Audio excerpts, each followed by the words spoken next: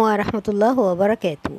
المعلق السعودي يواصل ألحانه في حب الزمالك عقب المباراة. شاهد ماذا قال؟ علق المعلق السعودي عبد الله الغامدي على انتصار الزمالك الكبير على اتحاد المنستير والفوز بنتيجة رباعية مقابل لا شيء في الجولة الأولى من منافسات البطولة العربية. عبد الله الغامدي كان هو المعلق الرائع الذي علق على مباراة اليوم بين الزمالك واتحاد المنستير ونال إعجاب جمهور الزمالك. عبد الله الغامدي عبر حسابه على موقع التواصل الاجتماعي تويتر قائلا عادت الحياة لعشاقها بعودته للانتصارات. اللون الأبيض لا يمكن أن يتلون. ليلة بيضاء ناصعة البياض بألوان الملكي الكبير. وتابع.